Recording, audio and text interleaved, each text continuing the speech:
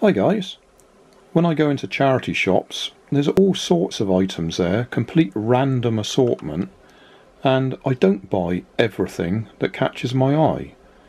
But what I will do in future is video them if I think they're interesting enough to share with you. So this is one of those videos.